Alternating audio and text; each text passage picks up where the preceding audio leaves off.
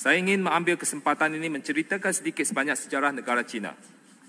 Selama beribu-ribu tahun sehingga tahun 1820, GDP negara China adalah terbesar di dunia. Akan tetapi, kerajaan dinasti Qing sangat korup, tidak mengurus takbir kerajaan dengan baik, politik kucak kacir. Sebagai akibatnya, negara China memasuki zaman ke- kegelapan.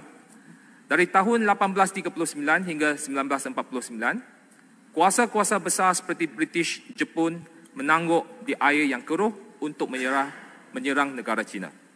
Hong Kong, Macau, Shanghai dan sebagainya dijajah oleh kuasa barat. Zaman kegelapan itu berlarutan selama 100 tahun dan dikenali sebagai 100 years of humiliation. Apakah pengajaran sejarah negara China kepada Malaysia? China, China walaupun merupakan kuasa besar atau superpower selama beribu-ribu tahun namun disebabkan oleh amalan rasuah yang berleluasa menyaksikan negara China menjadi negara gagal dalam masa singkat.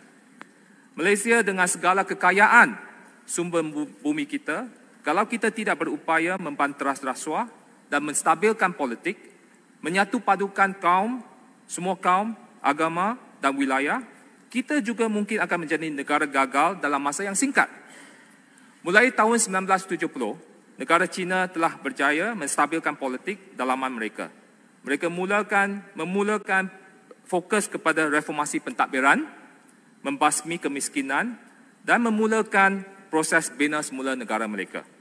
Dalam masa tidak sampai 50 tahun, mereka berjaya mentransformasi daripada negara gagal kembali kepada negara kuasa besar di dunia. Malaysia juga boleh melakukan transformasi seperti negara China. Yang amat berhormat Tambun sejak menubuhkan kerajaan perpaduan telah berjaya menstabilkan politik negara kita. PMX melahir, menzahirkan Malaysia Madani yang ingin menyatu padukan semua rakyat, tak kira kaum, agama dan wilayah. Maka saya ingin menyeru kepada semua pihak, terutamanya pihak pembangkang, supaya mengambil iktibar daripada pengajaran sejarah negara China. Jangan permainkan politik, sentimen perkauman yang menyebabkan negara kita tergadai. Sokonglah usaha yang amat berhormat PMX menstabilkan politik negara kita. Sokonglah usaha membanteras rasuah.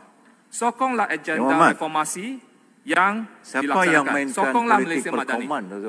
Minta penjelasan Sikit, siapa mainkan ya. politik perkauman. saja. You are referring to pembangkang mainkan politik perkauman. That one is not proper. Siapa Okey. yang mainkan Terima kasih, terima politik kasih. perkauman? Ada banyak contoh. Ha? Uh, beruluran pun tahu. Datuk yang